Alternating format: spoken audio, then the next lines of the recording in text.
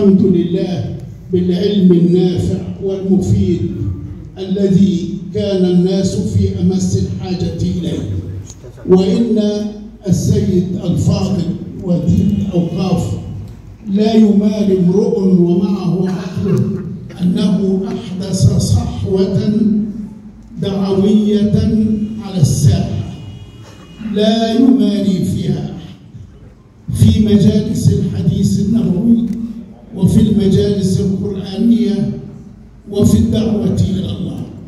وهذا النشاط وهذه الصحوة أحب أن أقول لكم يا فضيلة وزير الأوقاف لا تقتصر فقط على شهر رمضان بل إن سائر الشهور وسائر الأيام في حاجة أن يستمر هذا النشاط وأن تستمر هذه الصحوة لأن مجتمعنا الآن يعاني من مشكلة بعض الذين أصابهم الغرور العقلي فراحوا يكفرون ويفسقون ويبدعون الدولة ونظامها وعلماءها والسائرين فيها.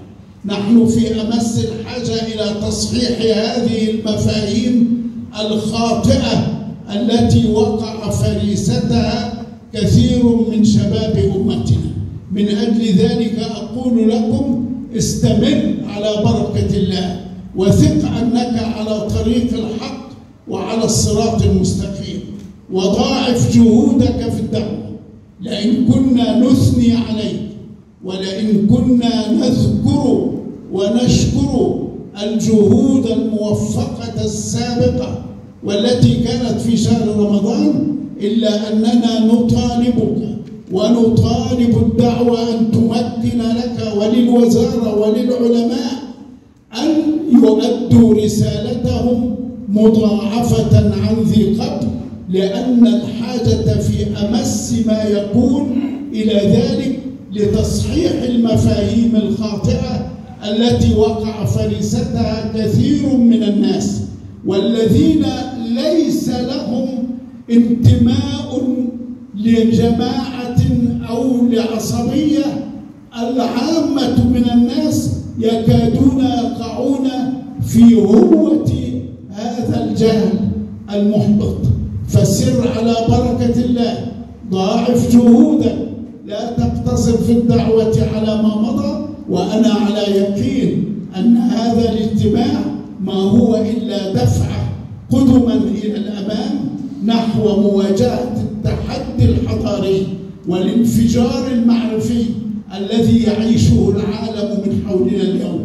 وأدعو الله من كل قلبي أن يمكن لكم وأن يوفق العلماء والدعاء إلى ما يحبه ويرضاه ومجالس الحديث النبوي التي أنشأتها واستحدثتها ولم تكن مسبوقا فيها هي مجالس الخير لهذه الأمة.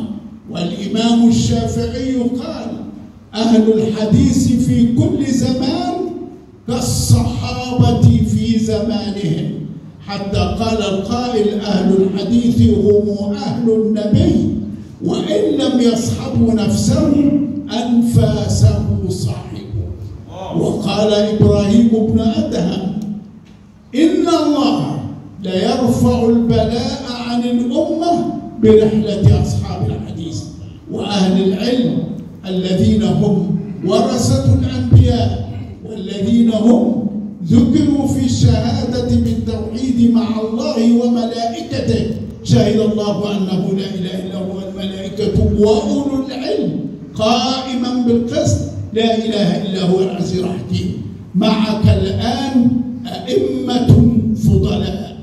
معك الآن يا سيادة الوزير علماء أجلاء. اخترتهم واصطفيتهم وهم أهل لهذه الرسالة. فلا تقصر في حقهم ولا حين أقول لك لا تقصر أقولها للدولة. قيادة من القاعدة للقمة لأن أقل الناس معاملة مالية هم العلماء ولأنهم حين كنت في مجلس النواب طالبت برفع رواتب علماء الإسلام والدعاة. تمن الناس ويعيشون في أمان لا حدود له. يعيشون في أمن لا حدود له. ويعيشون في سعادة لا حدود لها. ويوم أن يسعد الفرد والمجتمع والأمة حين لا يخافون من أحد بل من الواحد الأحد سبحانه وتعالى. لا تخف من أي شيء روعا كن مع الله يكن ربي معك. قلتها يا سيادة الوزير في كلمتك كونوا مع الله يكن الله معك. لا تخف من أي شيء روعك. كن مع الله يكن ربي معك.